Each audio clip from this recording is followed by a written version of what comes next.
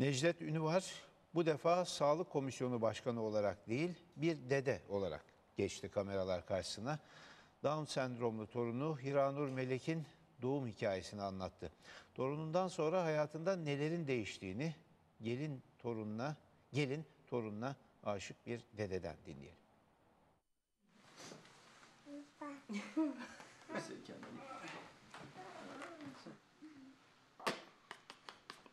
Necdet Ünüvar, AK Parti Adana Milletvekili ve Sağlık Komisyonu Başkanı. Kucağında öpüp kokladığı ise Down sendromlu torunu Hiranur Melek.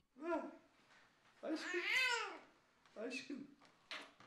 Hiranur Melek, Down sendromlu olarak dünyaya geldi. Şu anda 10 aylık. Dedesi Necdet Ünüvar, Hiranur Melek'in doğum hikayesini anlattı. Down sendromlu torunu olacağını başbakanla birlikte gittiği Azerbaycan seyahatinde öğrenmiş. Geçen yıl Eylül ayında Sayın Başbakanımızla beraber Azerbaycan'a gitmiştik. Biz Türkiye'ye dönüyoruz. Tam uçağa binecekken eşim telefon açtı. Ee, Kızım da o zaman hamile. Ve Doğumuna da iki ay falan var. İki, iki buçuk ay falan var. Ee, Dedi ki, kötü bir haberim var. Bebeğimiz dedi Down sendromu olacak.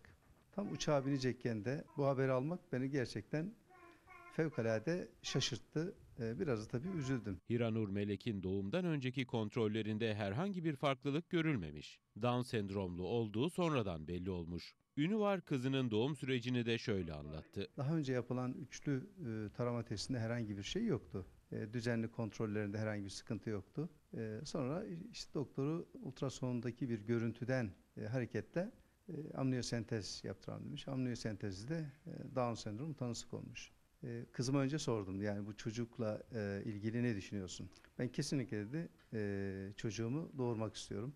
Sağlık Komisyonu Başkanı Necdet Ünüvar bir babanın kızına duyacağı şefkatle nasıl torununu istediğini de anlattı. Sonra eşimle konuştuk dedik ya biz e, acaba annesi ve babasıyla konuşsak ya bu çocuğu biz alsak yani bizim çocuğumuz olmaz. Kızım da damadım da çok büyük tepki gösterdiler.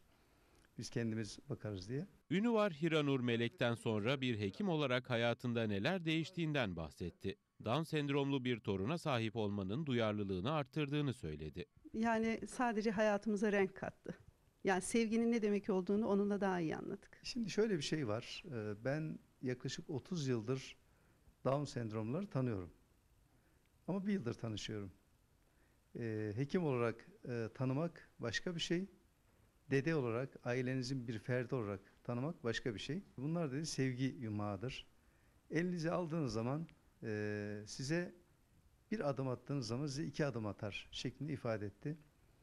E, tabii o ilk doğduğu anda bunu anlayamıyorsunuz. Ama şimdi görüyorsun ki e, elinizi bir attığınız zaman e, o size e, iki eliyle e, yaklaşıyor.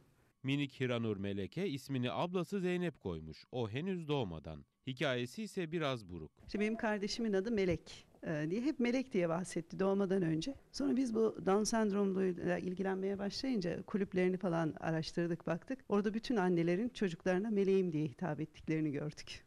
Hiranur Melek'in dedesine sevgisi bir başka. Öyle ki dedesini görünce kimseye göstermediği sevgiyi gösteriyor. Bir annesine bir bana yaptığı bir e, hareket var. E, yani babası, anneannesi, teyzesi falan kıskanıyor ama e, beni gördüğü zaman e, atılıyor.